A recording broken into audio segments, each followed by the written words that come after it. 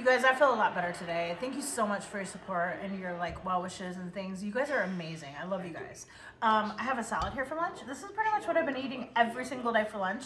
Um, it's like a bed of uh, spring mix, and then I put some blue cheese, a handful of walnuts, and some um, low sugar cranberries, and then um, chicken fajita. Uh, like I've literally been eating this every single day, except for like yesterday I had um, salt and vinegar wings, but I've been trying to eat this every day. So I'm kind of that that person that I have like no moderation. I just do the same thing over and over until I'm sick of it. I just do that. It's comforting to me. Anyway, um, Cody loved her surprise yesterday. I really need to think of something special to do for Marissa next.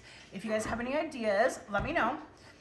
Um, also, this afternoon I'm gonna watch my grandson, and he while he naps, I'm gonna try to get my bills paid, and then I'm going to also um, work on after school snack. I have this idea to make uh, cupcakes inside of ice cream cones. I've done it like a couple times before, but I don't really remember if they turned out or not, so wish me luck.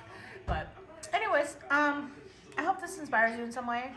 Uh, I ran nine miles this week. I was really proud of myself. I just, I pushed myself through and just did it. I didn't want to.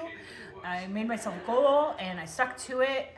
I had a really hard week because I just, it was an emotional, like, I don't know, I just feel like everything's bad, but um, it can get better. So I dressed my salad with olive oil and um, red wine vinegar, and I'm really excited to eat it. So I'm gonna go and eat my salad. Bye, you guys. Oh, the chicken on top is a um, fajita chicken. Like, you could just, it's already pre-cooked. All you have to do is reheat it in the um, air fryer. It is so freaking good. I love it on top salad. Also, I do like the barely naked ones too sometimes.